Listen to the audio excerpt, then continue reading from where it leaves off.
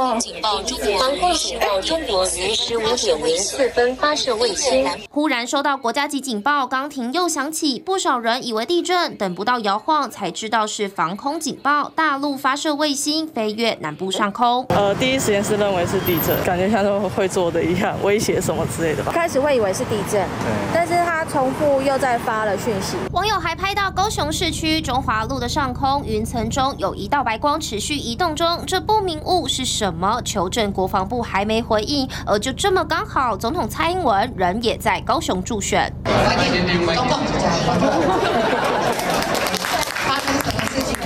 一句“总统在这里”，小小安抚民众，讲没两句，警报再度响起。那个卫星不是飞弹，不止南部居民，中北部甚至离岛金门都收到通知。又不是飞弹，那我们习惯这种过去金门习惯这种防空演习的。所谓防空警报，大概都是一些中单那个没有收过说发射卫星也也要警报的吧？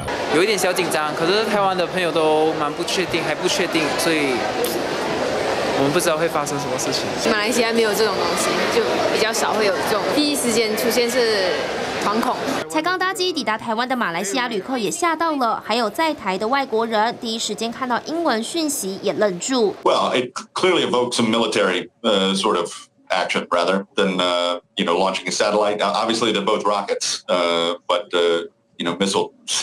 Missile sounds like it's a military action。还好是虚惊一场，也有粉砖小编大玩梗。中部知名游乐园抛文于十五点二十一分发射一堆优惠，已飞跃至官网中。美式餐厅则以国家级饥饿警报，现主食发射各种美味早午餐来搞笑，试图化解选战前的紧张情绪。TVBS 新闻王云婷、廖宗庆、李赞胜南部综合报道。想看最完整的新闻内容，记得下载 TVBS 新闻网 APP。